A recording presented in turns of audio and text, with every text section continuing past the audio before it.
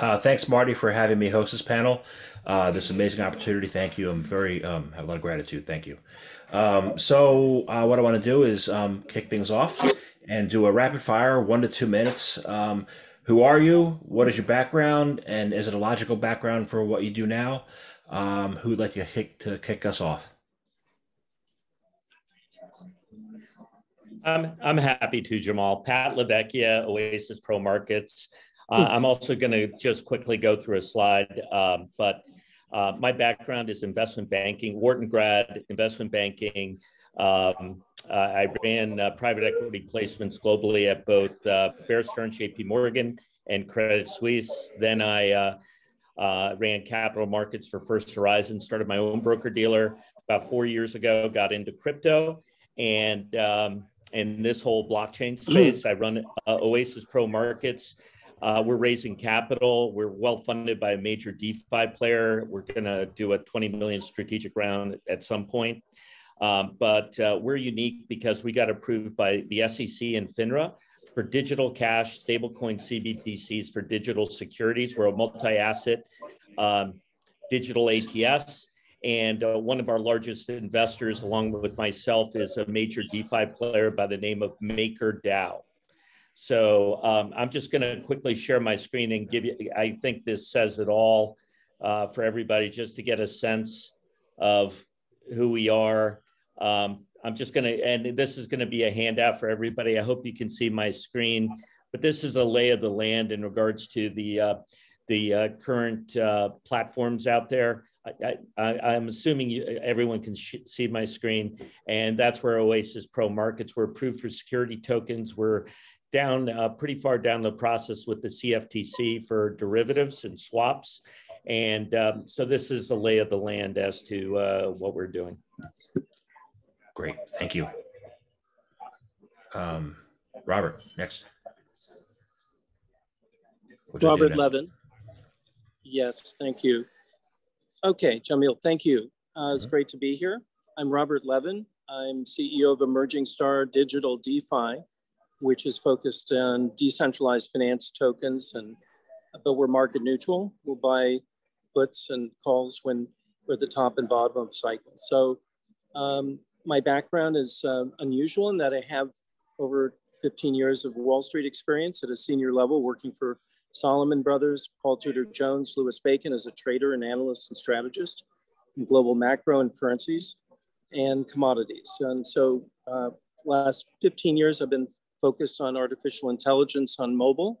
I started investing in 2017 in cryptocurrencies and have built up a portfolio mostly of DeFi tokens. The core position is Celsius, uh, which is up over 3,500%. But I'm not saying to anyone we're going to have another 3,500% uh, uh, three-year period, but I, I'm very bullish on the DeFi sector of cryptocurrency. So we'll discuss that. Great, thank you. Uh, Paul. Hey guys, glad to be here. I'm a partner at Pantera Capital, one of the three general partners at Pantera Capital. Uh, I joined the space in 2014, so shortly after Marty, Pantera, Dan, and the Stephen brothers were getting into it, um, I joined around the same time my background is I used to be an economic consultant. I also used to do business development and growth for some early stage startups. And then before Pantera, I was actually working at another VC firm focused on mobile.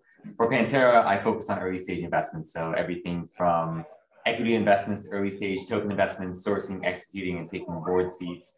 Uh, for Pantera, you know, we manage about $5.5 billion of assets across early stage tokens, liquid trading tokens, and early stage venture capital we invest all across the spectrum, everything from C to Series B, and even some growth stage investments. We're doing everything from NFTs to DeFi to CFI. So uh, we're pretty comprehensive in that aspect. Great, thank you. And my name is Jamil Hasan. I'm a podcast host with the Irish Tech News. I'm also an author, and I also have a small DeFi portfolio on the side myself. So it's great to be here. Um, so, you know, we're here to talk about on this panel today to talk about uh, blockchain and crypto strategy and valuations. And in order to talk about strategy, we have to lay out the land um, of what's going on out there, you know, in the market. From what I see, and there might be more, but um, from what I see, we have an ambiguous U.S. regulatory environment. We have um, you know misinformation in across the media. Uh, we have uh, mixed signals from corporations, and we also have you know mania going on in the NFT space. There may be more things, and I'll ask about that. Uh, but how how have you been able to? Each of you have been able to navigate this current environment. Um, what are you doing well, and what strategies have you seen that have been working?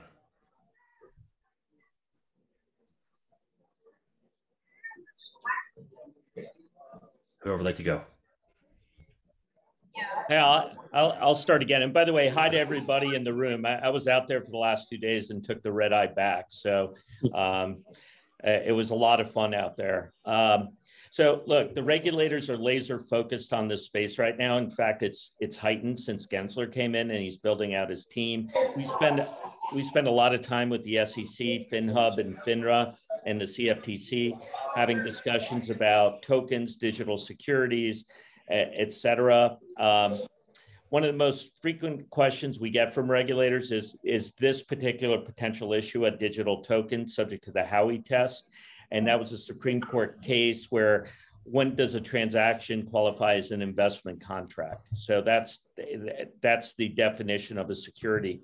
I think that just one comment regarding NFTs. One of the commissioners, Hester Peirce, came out about two months ago, and she's the most bullish at the SEC in regards to uh, blockchain and crypto. And she suggested with, with NFTs, if they became fractionalized, that she thought they probably would be securities. So that's an area of, of interest. But our approach has always been in regards to navigation, uh, uh, re- regulatory first, compliance first. I'm a banker by background. I, you know, that that's what I cut my teeth on uh, with the major banks, and that's our approach.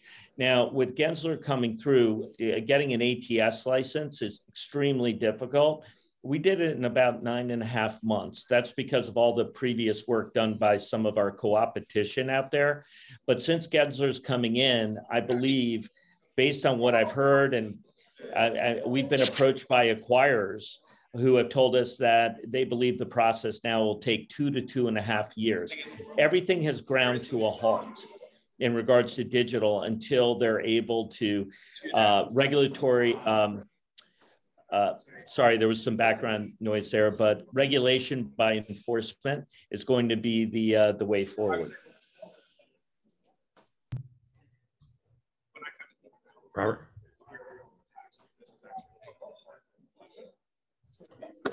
Uh, Robert, you had some interesting comments about that. Yes, sure. Yeah. So my opinion is that uh, regulation is uh, increasing in the US relative to other jurisdictions. So people are conducting jurisdiction arbitrage, going to other jurisdictions like uh, the United Kingdom, where they have a regulatory sandbox. And uh, so, for example, three years ago, I almost invested in Celsius in the US jurisdiction, and then they switched to a British jurisdiction.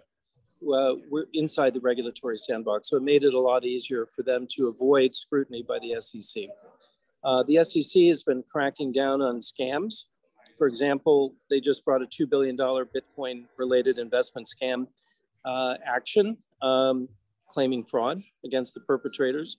And um, they've issued regulatory guidance that uh, people should avoid uh, promises of guaranteed high returns, avoid unregistered sellers uh, who are not regulated brokers, avoid um, claims of skyrocketing account values and uh, other types of too good to be true fake testimonials.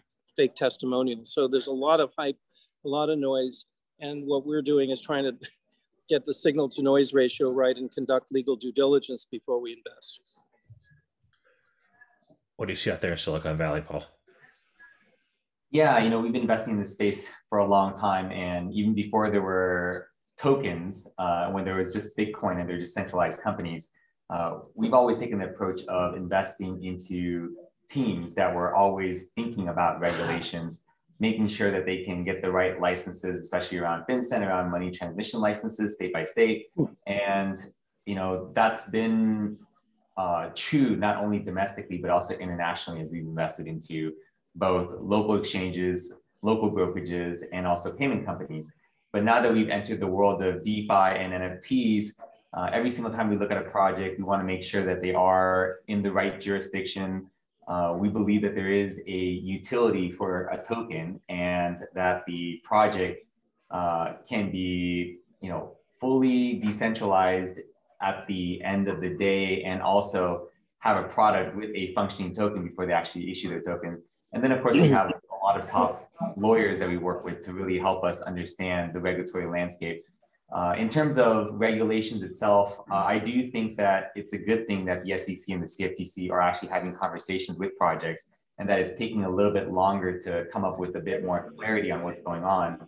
I think uh, the worst thing that could happen would be coming out with something that hinders innovation. So the longer they take, I actually think the better it is for our industry. And we have to take a role out there to continue to educate those around us um, and help give some guidance on what good regulations could be. But as of right now, uh, our strategy is to take a very, very diversified approach, investing into not only uh, decentralized applications and DeFi, but also, you know, the infrastructure underlying it, which should be probably a little bit less uh, subject to regulatory um, uncertainty as those guys are, you know, getting licenses and things like that.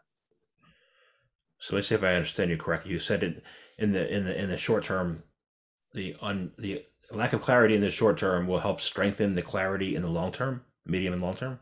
I think it can. I think uh, right now there's a huge education process that's happening with regulators. And so the more time that they can spend on this without making any rush judgments, I think the better. What What are you guys saying, Robert and Pat? On the regulatory issue. So the, uh, I, I think that Hester Peirce, who works for Gary Gensler and has developed a staff to monitor uh, potential fraud. And uh, so when BlockFi, for example, announced uh, the S1, um, three state regulators issued cease and desist, but the federal did not. So uh, because they had, you know, state regulators would like them to register all of their client base, for example. Um, Binance cannot market in Texas, for example, but other jurisdictions in the US they can. So I think that the state regulators uh, can slow down and put up speed bumps, but generally it's up to the SEC to determine nationwide whether or not a, a new protocol can advance and start selling to retail. But institutions are have compliance departments and they're very careful and major institutions are entering the market as you know. Uh, yeah, I, I, I, agree. I agree with the approach, and I think you know in the long term, this is all very good for the industry. Um, I think in 10 years, it's going to be ubiquitous, five to 10 years. And we're going to mm-hmm. look back and say to ourselves, why didn't it occur t- a decade earlier? Uh, but I do, I, you know, uh, we're, we're, we're in the heart of regulation and compliance, speaking to the regulators. I, you know, I think well, I, I, feel quite certain that it's going to be regulation by enforcement in the short term because Congress can't really get their act together in regards to the regulation that Gensler would like to see. It's just very low on the agenda. I, uh, uh, I, uh, but I, you know, but actions are being taken. Uniswap, one of the uh, biggest uh, um, AMMs out there, got a Wells notice so that's come out and so there's a lot of pressure there and there's a question is that a utility? Is it a security? And a Wells notice is quite serious. Uh, we know them well. Uh, we know all the players out in the market and uh, we think they'll get through it working working with the regulators. But fines are coming and uh, probably until the election of next year in november so there's more cl- clarity in regards to um, uh, congress uh, I think we're really not going to see much in terms of regulations to the points both uh, Robert and uh, and Paul mentioned earlier. Got it. Okay, so uh, let's talk about valuations. All right, Robert, you, be... Robert you, have to uh, put yourself on mute when you're not speaking.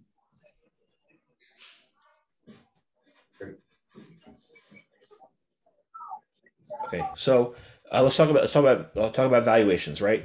There can be valuations of both, you know, public, decent, fully, completely decentralized protocols, like, um, and then also uh, of private, VC backed, early distribution, equity stake protocols, right? How do your specific valuations differ between the two? And um, what is your focus looking at each one under the circumstances that you set aside to look at it? Uh, start with Paul.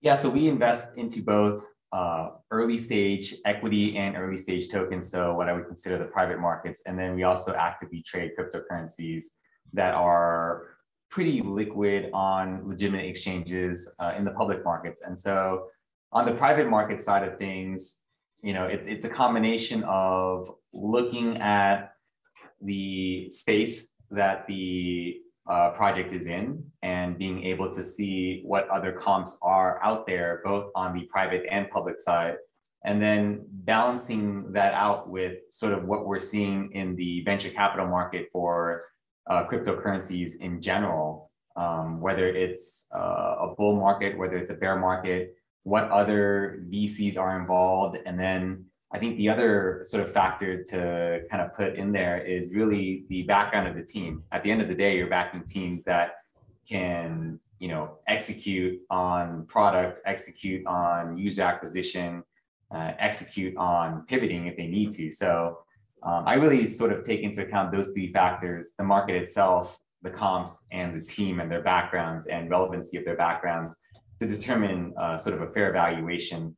And uh, that's kind of what I'm seeing on the early stage side now. On tokens, it's fairly similar. I would say that uh, the valuation for a token network is probably on average two times the valuation of an equity deal, uh, just because you know uh, the company itself usually takes about or about 50% of the token network. So that's one way to sort of uh, frame the numbers between equity versus a token network. And I think most of the early stage deals right now, you're investing in hopefully getting both equity and tokens just to make sure that you're aligned. Because at the end of the day, these are early stage companies. Uh, you know, early stage companies pivot in terms of their business model. So whether it's a token business model, whether it's uh, you know revenue business model, you never are quite sure. So if you're pretty uncertain and uh, if it's fairly early, I'd probably invest and get both on the public side of things, you know, the way that we look at things is, you know, Bitcoin and Ethereum, I think there's this whole Bitcoin dominance. Um, and, and, and when Bitcoin dominance reaches a certain number, let's just say 30, 40%, then, um, you know, usually people pile back into Bitcoin or when Bitcoin dominance reaches 70, 80%, people move back into Ethereum. So that's one way to sort of look at the two largest cryptocurrencies. And then beyond that, when you start looking at things like DeFi, um, you can compare them relative to each other in terms of layer ones, layer twos, uh, stable coins, lending, borrowing, et cetera, and be able to do relative valuations. But you can also look at the cash flows that are coming through each of these platforms and run a DCF or run a multiples analysis to determine uh, how each of these protocols compare against each other. And so that's how you can determine how to size these investments. And of course, for us, like we're pretty fundamental in terms of what types of companies should be accruing value. So a lot of our investments on the liquid side of things revolve around layer ones, scalability, lending and borrowing, exchanges, um, you know, things like insurance, et cetera. Great. Robert. Uh, Robert. Yes, so uh, we're focused on DeFi protocols. So we're only focused on investing in DeFi protocols that have uh, positive cash flows. So, and also very seasoned teams with the right level of compliance and transparency and reporting and accountability. Uh, so that's very important to us as well. We see two types of metrics for valuations, qualitative metrics uh, and quantitative metrics. In qualitative, we see narrative driven metrics like MEMS uh, and sentiment driven and branding. Um, the, and we're more interested in quantitative protocols, which are more grounded, more traditional, uh, but there's different nomenclature compared to traditional financial ratios. But let's just say that earnings are very important. Protocol earnings accruing to the token equals a profit margin. And every protocol allocates cash flow to the token uh, with a couple of exceptions. So for example, Uniswap has no cash flow accruing to the Uni token. The SushiSwap, which also competes in the DeFi uh, space, directs about 16% of their swap fees to Sushi token holders. Uh, price to sales metric, uh, market equivalent to market cap to uh, net revenues is an important uh, metric. So the metrics are evolving. Obviously, they're useful only for comparison within subsectors and not across um, the value chain between sectors or subsectors. So the major sectors are lending uh, in DeFi, followed by exchanges like Uniswap and SushiSwap, uh, and then payment protocols. And there's others like derivatives and asset management protocols. So we're looking at uh, quantitative metrics more than sentiment and narrative metrics. Got it. How about you, Pat? I, I, I you know, I would agree with uh, both um, the approach that Paul and Robert laid out. I, will take a rather than repeat that, I'll, I'll, I'll take somewhat of a different view, which is um, uh, Bitcoin it, to me. Let's start there. That to me is a commodity. It's not really in the DeFi space. You can't build upon it. What you have with ETH is it's a foundation that many of these other protocols and DeFi projects are built upon. So I'm excited about both, but really ETH to me is the big investment. And I continue to invest in that every day, uh, in, including some DeFi projects. What I look at is the team, as has been mentioned, fraud, you know, due diligence and governance. A lot of these DeFi projects are tied to governance of the community, and I look into that very uh, in a very detailed way. And you know, my knowledge base of my knowledge base of MakerDAO, uh, you know, is one of the best governance communities out there, and it's now become, if the others aren't familiar with it, uh, it's about to become a full DAO, completely decentralized, which uh, is amazing from where they started.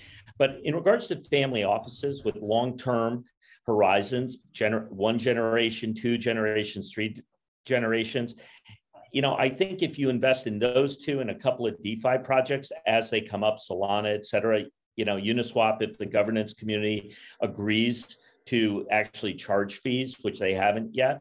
Um, yeah, you know, over a decade, two decades, multiple generations, this is going to turn out to be a winner, in my opinion. Um, one family office told me recently that five years ago they had the opportunity to invest in Coinbase, and I believe the valuation was about 400 $400 million. It's currently trading at 65 billion in five years.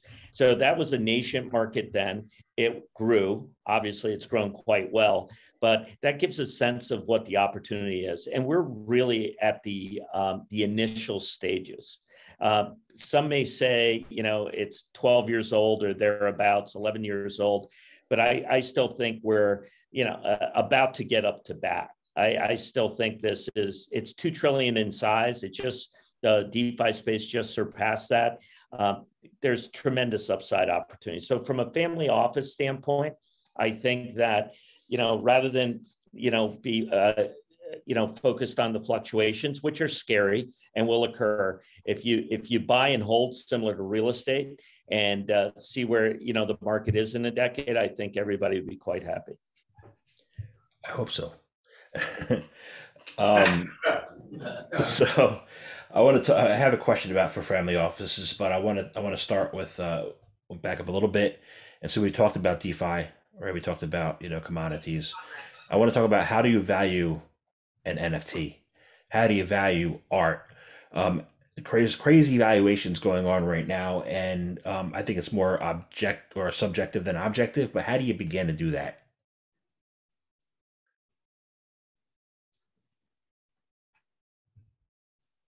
Whoever they could go, let me know. Robert's talking. Give a third, if I can give a 30 second overview of the state of the market, it's it's up about 300% in the NFT index in the last three and a half, four months. So the market um, is, I would say, overvalued, and we peaked about seven, eight days ago in the NFT index. And um, so that we have a very frothy, uh, overheated NFT market going back to the issue of valuations, the underlying assets, you have to analyze the provenance, the, the lineage of music or art in comparison to their comps. So that's just very briefly, but the, the whole uh, market is very stratified from Christie's at the top end selling three to $10 million NFTs to um, OpenSea, which is selling retail to the average investor. So there's, you have to look at different market segments and the lineage and protocol uh, underlying each uh, NFT and analyze its smart contract. Paul?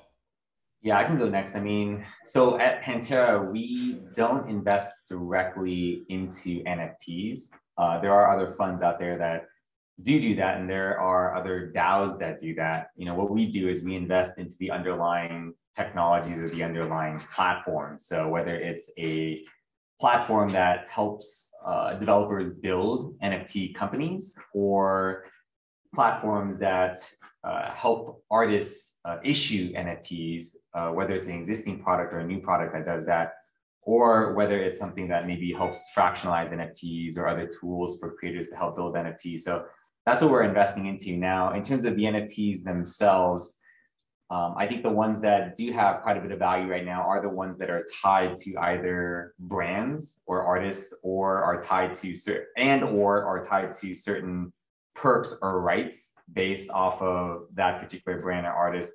I think there will be um, there will be a time where you know more creators and more brands are built because of NFTs and NFT discovery. But right now, I mean, the early adopters and the early buyers of NFTs are just, you know, crypto whales. And therefore, it's, um, you know, it, it's quite frothy because we are in a bull market and there's a lot of money to go around. A lot of people are, are sort of supporting this idea.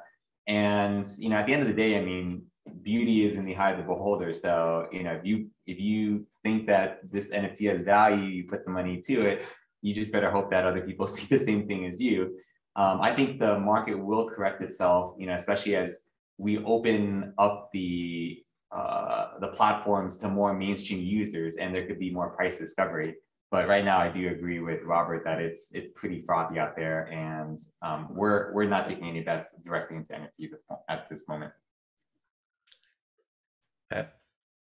Um, yeah, it's very frothy. I uh, I take the approach. I'm an angel investor as well. I've in, I've invested in three platforms, two related to art, one related to music, uh, and creating ecosystems around that, which is uh, you know very cool. I you know I can't begin to understand some of these CryptoPunk valuations and some of these uh, gorilla valuations out there. Drunken Gorilla, I think, is very popular.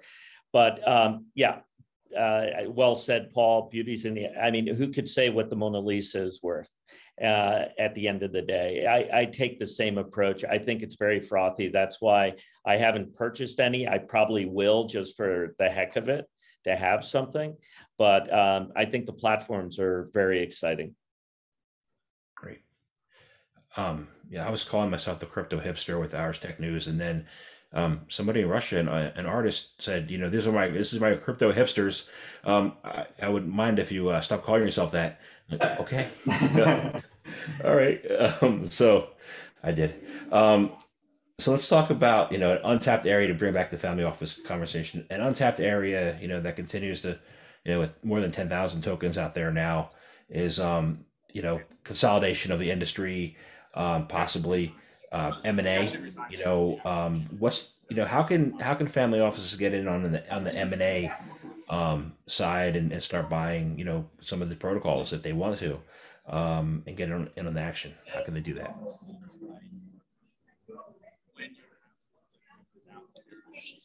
Uh, I guess I can start there. So, uh, you know, I, I think there's a few different ways that you can go about it. You know, you can take the approach that Pat mentioned, which is you can start with buying some Bitcoin, and you can do so, uh, you know, through your Coinbase or you know Grayscale or other sort of private and, and more public options out there. You can then dabble into Ethereum, which I think is the operating system for the entire industry right now. And then if you wanted to go beyond that yourself, you could dabble a little bit into some of the DeFi tokens. Now, uh, beyond that though, if you really, you know, beyond Bitcoin and Ethereum, if you really don't want to think about, you know, which ones are promising and, and how to spread your bets across, you know, a, a number of different tokens, uh, there's starting to be indexes that are arising. So Bitwise has come up with a DeFi index and there are other indexes, I think, that emerge for NFTs that you can get exposure to a wide variety of different uh, tokens that are market uh, market cap weighted, things like that. So I think there's going to be more bundling of options um, or even potentially, uh, as, as Robert mentioned, asset management protocols or, or yield optimizers, things like that, where you can park some of your money into more sort of stable assets and get yield. And then beyond that, I mean, in terms of getting exposure, you can um, invest with a fund manager that charges a fee, but can get you into different strategies and companies that you could normally not get into, probably would be uh, surrounding the private markets uh, versus, uh, but even public market investing. I mean, you know, Bitcoin and Ethereum are up like maybe 50 to 100% this year, while our liquid token funds are up, you know, three, 400%. So active management, even on the liquid side, can, can provide alpha. But on the early stage side, our early stage funds range from you know 10 to 15 times capital to even even higher than that. So uh, there's definitely more risk, but more reward on the early stage side of things. And to touch upon um, the question around consolidation, I do think that there is going to be a lot of consolidation that happens, which should bode well for both public and private investments. Um, Coinbase, Binance, some of the larger asset managers and exchanges are all going to be making purchases. There's a lot of capital out there. There's a need for talent, a need for technology. So we are going to see a lot more consolidation from centralized companies to centralized companies, but we're also going to see some really interesting acquisitions between token projects too. And there was one example where Polygon acquired Hermez. Uh, and, and basically what happens is people were able to swap their Hermez tokens for Polygon tokens at a certain ratio. So we're going to start seeing M&A all across the board, and it'll be helpful, especially for early stage investors, uh, to be able to get some returns and liquidity that way. I'm sorry, just to clarify, that consolidation is primarily in the token-based companies? Yes, yeah, yeah, on that one. Robert? Uh, I'll, I'll just jump, yeah, I'll jump in next. Uh, industry consolidation is inevitable. Um, there are many platforms, protocols, other players have strong synergies. You know, I mentioned earlier that we have these licenses we're launching uh, fourth quarter of this year. And uh, we've already been approached by, um, I can't mention who, but some well-known groups out there who are worried about regulation, who are worried they don't have the proper licenses, and uh, we haven't even launched yet. So it's it's definitely happening. There's also banks are, are playing an increasingly smaller role in the financial system because of DeFi, and they're going to be forced to adapt. And one way to catch up for them quickly is through acquisition. The banks are doing a lot of R&D. When I say banks, just financial services firms in general. And uh, we're in discussions with them. We, you know, as potential partners, et cetera. When when that tipping point occurs for digital assets, and two trillion is not a tipping point yet. Uh, so it may be five, it may be 10 trillion. They're going to come in in a big way. And we're seeing it right now. There, there's one bank, uh, it, one of the largest international banks in the world. Over the last um, over the last five years, they've had an internal blockchain system, a private blockchain system for FX. And they shared with us that they traded $2 trillion over the last five years internally somewhat similar to the JP Morgan, Morgan coin, but it's something that's definitely happening. Additionally, now uh, I don't know if uh, all of you saw the news, but Steve Cohen, uh, you know, a well-known trader, uh, just invested in a quant trading group called Radkl, which is part of GTS, which is one of the top three market makers, traditional market makers in dark pools and the exchanges. So that's going to be a highly, um, highly, uh, highly volatile fund, uh, but they're looking for investors. So I, I think the fund, the active fund management um, approach is probably the, the best approach here because, uh, you know, if you're trying to do it yourself, unless you have some deep knowledge in the space for yield farming and some other components, I, you know, you could lose, you could, you could lose as much as you could gain. I'd like to um, add, in addition to the M&A market, there's going to be many exits in the next 12, 24 months until the Fed starts tapering and closing the IPO window. Until then, we're going to see a number of IPOs. For example, Genesis is going public in the next 12, 24 months. Uh, and um, BlockFi is going public. It's currently a $3 billion valuation, and if Morgan Stanley or Goldman Sachs underwrites and takes it public on NASDAQ or the New York Stock Exchange, uh, it could go to it could double or triple. uh, similar to what happened with the CeFi company, uh, Coinbase. So we have a robust uh, IPO market. We're going to see a lot of DeFi and CeFi companies going public until uh, the Fed starts tapering. In the meantime, we have a $2.1 trillion market cap. Uh, it's near all-time highs for the total crypto universe, of which uh, DeFi is about 400 names uh, and a total value locked close to 100 billion. Uh, peaked at about actually 96 billion a few weeks ago.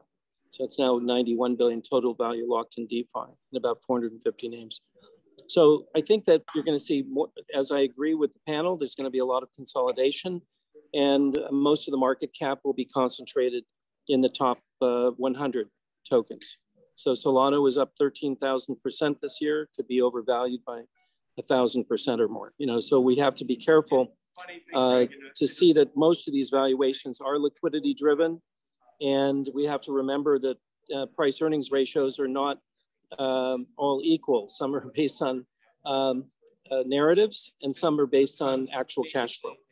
Uh, so SushiSwap is a price earnings ratio of 49, Maker is a price earning price earnings ratio of 21, but it's very hard to say that uh, Maker is undervalued compared to SushiSwap. So we have to be very careful when companies are being bought, uh, what valuations, you know. Um, so I'm going to uh, ask Marty, do we have any Q and A from the floor? Hold on a second here. Uh, yeah, you got a question? Yeah. When I refer to say yield, what are you referring to? Yield from yield. Yield? Yeah. Yeah, yield is basically when you are, you know, you can lend out uh, your cryptocurrency and you can get uh, yield as in sort of uh, I guess income from it, uh, either in that currency that you lend it out or in a different currency. So that's that's the yield that they're talking about. Is basically lending out, staking your cryptocurrency and being able to get something back for it. And contributing to when you, I guess, are doing due diligence on something, you can you have to look at yield something. Um, yield. Um, I don't look at yield when I evaluate a company, but I do look at it if I'm liquidity mining or if I'm determining uh, whether to put money in a certain protocol for yield versus another one. But it's not really part of our due diligence process. Maybe someone else caught. Um, well, I'll ask on top of that and say, you know, uh, there's there's been a comparison, and I saw it on Twitter. I don't know by who, but I think it was by a lawyer that said um, the yield the yield of DeFi is equivalent to bond to, to corporate bonds. I don't know if how uh, you gentlemen look at it that way, um, and if so, what, what does that what additional challenge does that provide the market, right? Uh, I, I look at yield, I, I guess, from if you're sort of staking uh, behind sort of a, a, layer one like ETH, um, I sort of look at yield similar to corporate bond as sort of fixed income, very, very steady. But of course, like those are for more like mature projects. Um, if, if I'm putting liquidity into an earlier stage project that's, you know, sort of promising very high octane yield, then I consider that more of a speculative bet on, um, or more of a trade, naturally like corporate bond. Okay. It's, it's hard to mention something about doing to do something with yield. So just not. Gary, you got a question? Yeah, I had a question. You know, about six months ago, I did uh, moderate the family deal off uh, making a panel. And so I said, you know, Democratic Congress is going to overplay their hand. They're going to spend so much money that all the money in the world will be spent.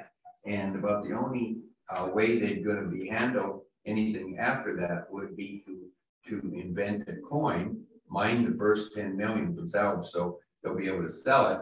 And I says Joe Biden could go out and, and he could call it an Obama coin, and that uh, and they'd say no good Democrat could be without one.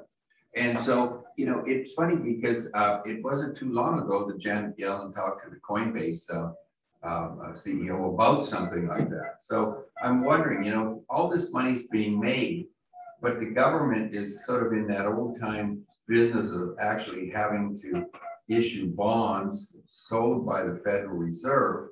And uh, they're not, you know, it seems like they're missing an opportunity. You know, they're, they're missing something big. You know, okay, so Hunter Hunter gets a, a little rake off of a few stray things, but that's peanuts compared to the whole darn thing. So will they start thinking broader and say, we're going to go into this? Well, you know, hey Gary.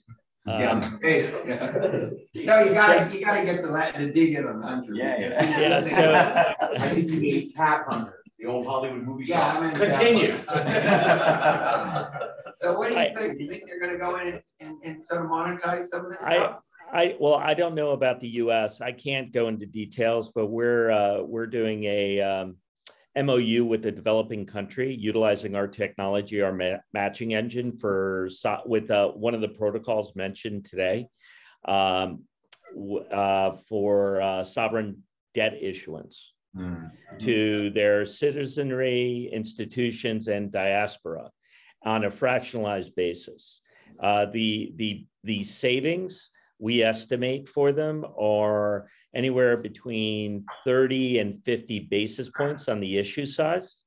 And uh, so these developing nations that don't have many options, it's a very closed market in the sovereign in the sovereign arena. There, you know, there's only a, a host of banks and and groups that that tend to do it. That that that is happening. I'm not sure about the U.S. You know, I think the U.S. will be late to that particular game. I just want to address something that, that Pat brings up, which is that there, you know, everybody who's been looking at crypto and Bitcoin forever has always said there's a couple of, you know, steps up, all based on one thing happens and another thing happens, blah, blah, blah, blah. And one of the big steps, of course, was when corporate America Treasury started buying Bitcoin, which happened in the last mm-hmm. 12 months, right? A big step up. Every time there's a halving, there's a big step up, which is going to continue, right? There's a whole theory, hypothesis around that. And then the other one was that once countries start adopting, which I guess El Salvador has done, yep. and they think Panama is next, or Panama has some kind of thing going on with parity. And, you know, so, so the reality has always been there's really only 15 tradable currencies out there. And everything, if you go to, to any of the emerging markets, everybody's asking you for dollars. So, so, so, so that was another inevitability was once countries start adopting this stuff, then that changes things, right? So continue. So what are you guys uh, uh, waiting now, going out and buying your Obama coin? Uh, waiting for that Obama coin. Yeah.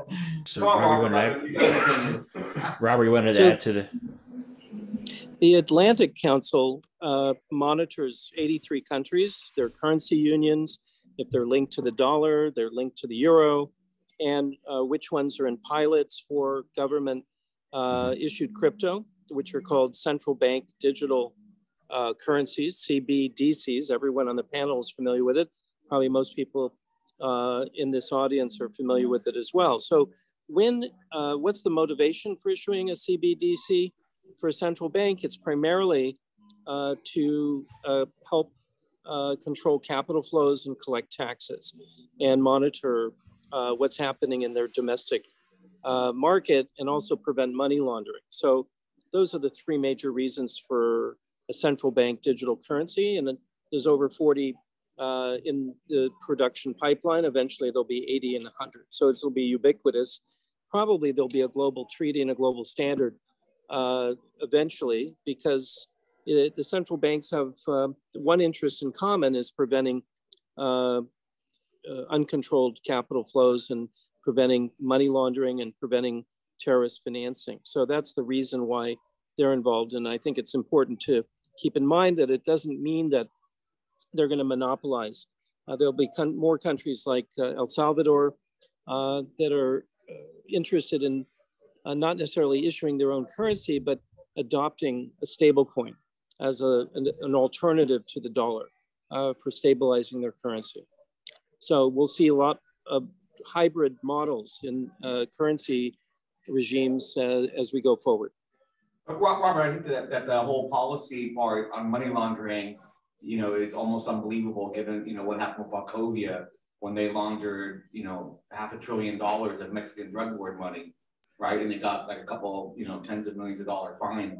So, So we know it's a policy statement, but whether, you know, it's just a statement that's actually meant to slow the adoption of other, you know, cryptocurrencies that are not, uh, you know, owned by sovereigns. Any thoughts? Okay. You couldn't hear the question.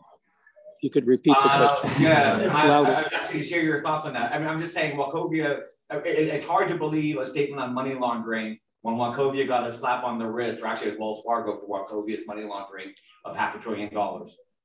Right? And we've had Dan Morehead on many times talking about how it's very difficult to launder Yeah. lots of money through Bitcoin. We know most most of the money laundering is not in crypto; it's in fiat currencies. What what what's happened is there's been a slate of ransomware attacks on hospitals and uh, pipelines and infrastructure uh, companies, and uh, the FBI and SEC would like to crack down on ransomware and fraud uh, using crypto because it's just another way to commit fraud. Is um, trying to hide uh, behind an anonymous uh, address. But there is a patent on de-anonymizing addresses. So I think that technology counterstrikes will evolve to, uh, to protect both consumers and institutions from ransomware, mostly upgrading cybersecurity. So effectively, this whole field of cybersecurity is one major policy factor in regulating crypto. And we'll see uh, someday, five, ten years from now, uh, unprotected infrastructure that is not quantum resistant being uh, pulverized by quantum attacks. So that that's of course where we have to develop quantum resistant infrastructure, not only for crypto, but also for traditional uh, financial architecture and traditional in information infrastructure. Yeah, Marty, you're, you're right on what Dan has mentioned. I mean, we've been able to catch even corrupt FBI folks trying to launder money using cryptocurrency. So it's not, it, it's definitely not better than fiat. And I think what I'm most interested in seeing is the China digital currency that's coming out. Uh, they've already had pilots out there in um, Hangzhou, and they're going to do a ton of airdropping. Uh, I think it's definitely going to be interesting to see, you know, how much uh, how much control they're going to have over that and what kind of comes out from that. I mean, how that affects the cryptocurrency market. I actually think it's a great thing. I think it's going to drive people into decentralized currencies. And, uh, and, on top of that, it's also going to get people a lot more familiar with digital money and digital cash. And so I think that whole initiative, while it's going to be great for China, it's uh, going to be even greater for cryptocurrencies and globally too. And again for a global point of view. I don't think there's any doubt right now that China is having some kind of a capital crisis because they, they're obviously have clamped down on the cryptocurrencies. There's a big uh-huh. clamp down. I think it was in Wall Street Journal yesterday in Macau that's going Yep, on, yep. which is a known money laundering center, right? So so there's something going on there that's you know driving all this stuff. Yeah, and I, I would just add CBD. We got approved. You know, I started off by saying digital cash for digital currencies for our ATS here in the U.S. We we applied for CBDCs and we had to explain to the regulators what that was because we did that in February of 20, 2020. So um, yeah, I you know uh, Beijing's doing it for control, a variety of reasons already outlined here. Um, I sit on the foundation board of the U.S. Chamber in D.C. as well, and they started looking into this. The chamber did about a year and a half ago, and they had a, a small working group of individuals like myself providing information. Their concern from a American competitiveness standpoint is that China, uh, you know, who's the furthest along, I, I believe they've been working on this since 14, 13, is seeking to become the reserve currency of the world. So um, they they started pushing hard, educating a whole host of um, of uh, members of Congress. I, I uh, uh, are I'm we're based in Connecticut, right next to New York. Our local congressman is number two in the Financial Services uh, Committee, Jim Himes. I've spent time with him. He actually had a subcommittee about a month ago, specifically about CBDCs here in the U.S. So there is movement. But again, to my earlier comments, I, we've got, you know, with the tax issues in regard, we haven't even touched upon that. That's come to crypto based on the infrastructure bill, et cetera. There's a there's a long haul here before the U.S. Uh, enters enters this area.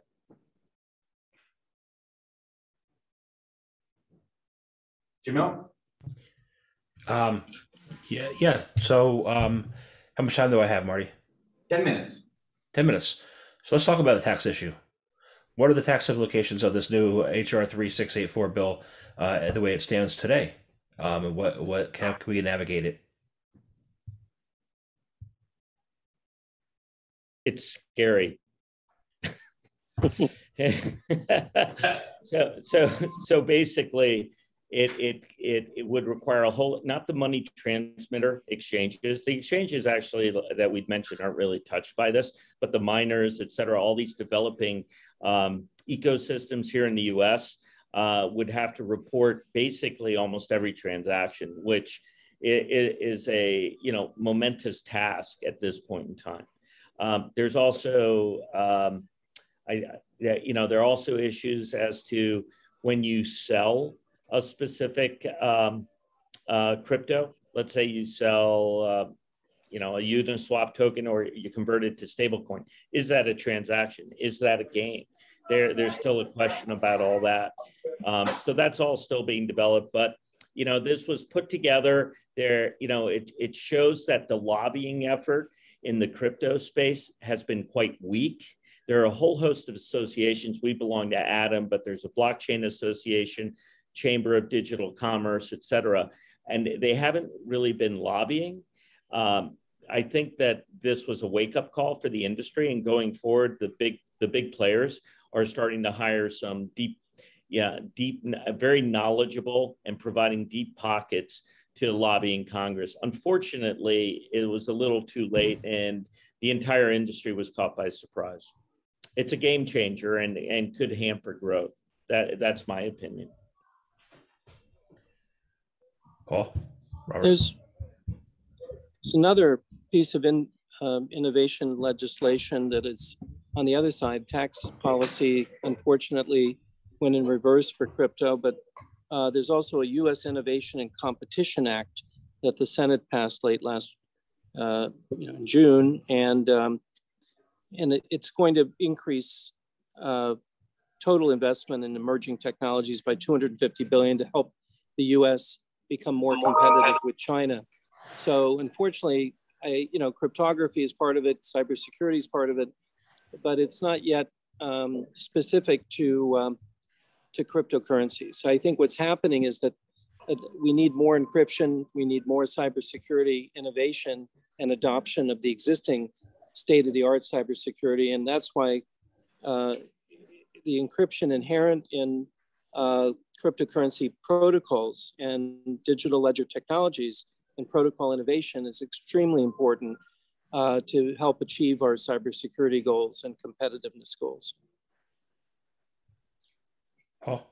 Yeah, I, I echo what both the panelists have mentioned. Uh, from our point of view, you know, we are one of the larger funds and brands out there. So while it was, um, you know, it was motivating to see how many people try to rally at the end and call their senators and uh, put uh, as much out there on crypto Twitter as possible.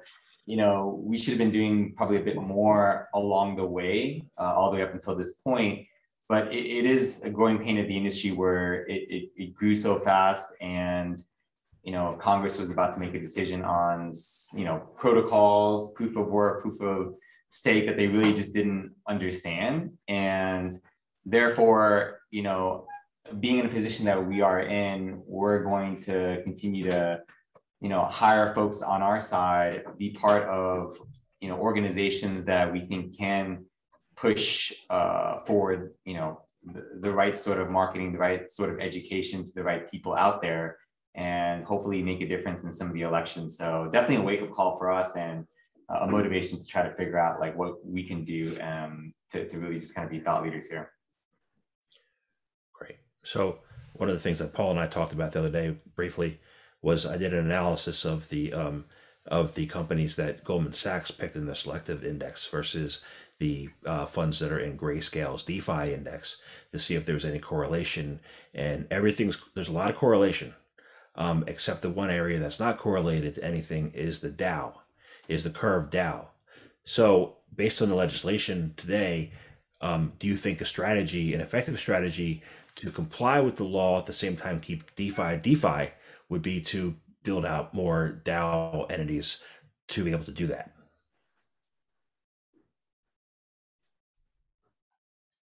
What are your thoughts?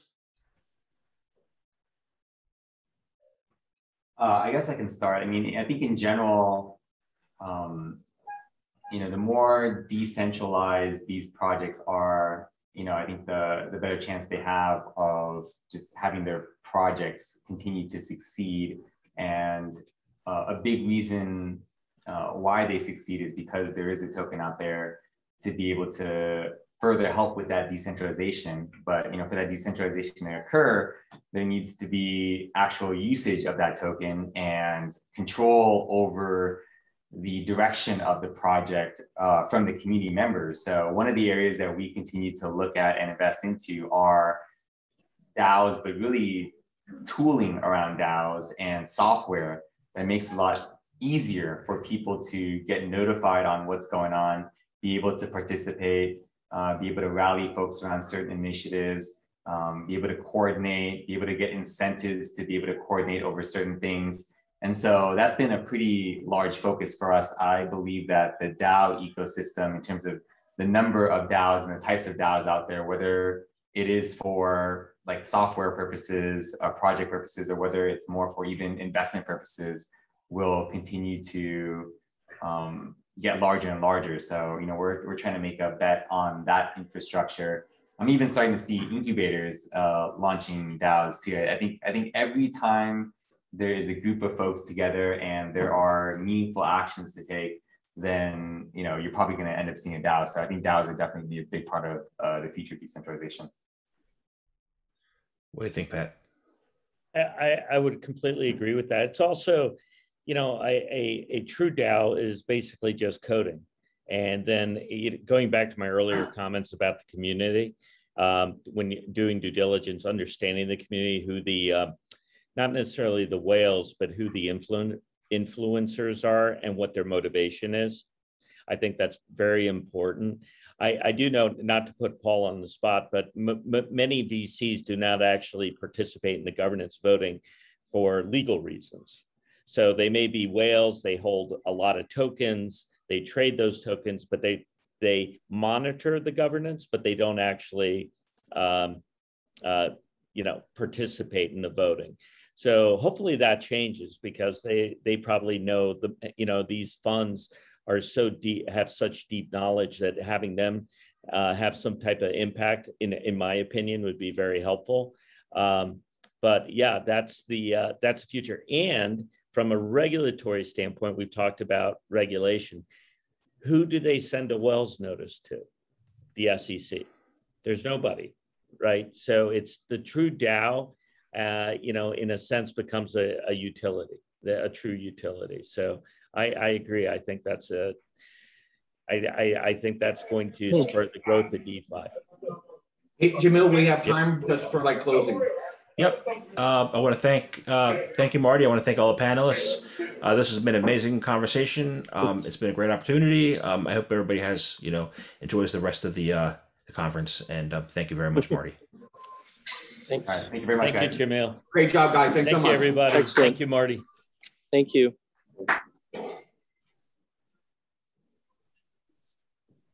Uh, fantastic. Great. Um, it's interesting. I was having a conversation with somebody about crypto, and I said, you know, all this code's been written. It can't be unwritten. All right.